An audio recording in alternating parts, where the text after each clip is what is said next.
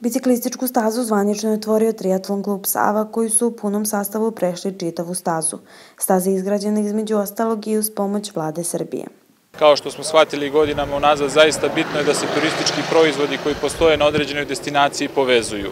I ova staza upravo jeste i dobar primer kako se povezuje sve ono što Sremska Mitrovica nudi, pre svega pričamo o Sirmijumu, Carskoj palati, zatim u drugim sportskim sadržajima koji se grade u Mitrovici, sa ovim drugim delom, a to jeste upravo Zasavica kao rezervat prirode. Staza nema samo turistički i privredni potencijal koji se nadovezuje na tri međunarodne ciklorute, ona je takođe i dobar pilot projekat kako se povezuju dva turistička mesta, što su u ovom slučaju Zasavica i Sremska Mitrovica.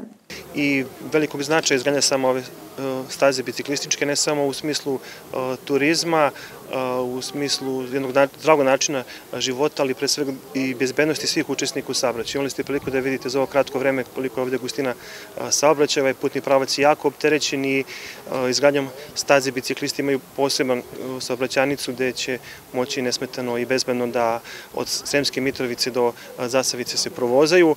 Švajcarska razvojna agencija zajedno sa ostalim investitorima videla je potencijal ovog projekta u mnogim sferama osim u turističkoj i privrednoj i iz tog razloga su se odlučili za podržavanje istog.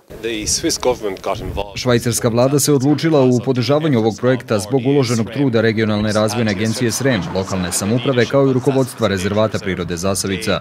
Oni su ti koji su ubedili švajcarsku vladu da je ova investicija vredna ulaganja zbog svog potencijala za korist građana i zajednice pre svega ruralnih sredina, a posebno okolini Zasavice. Među finansijerima ovog projekta našao se i pokrinjski sekretarijet za privredu i turizam. Oni su sredstva izdvojili po konkursu, a vodeći se parolom gradimo staze da ne bi gradili bolnice.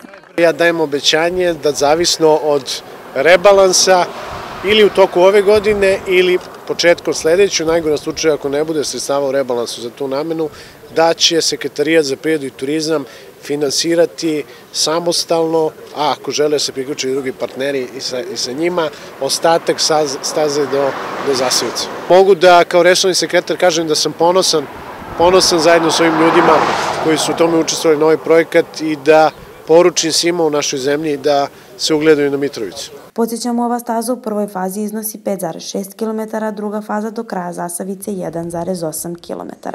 Uskoro se očekuje sadnja drvoreda duž cele staze, a u ovaj projekat uloženo je 23 miliona dinara.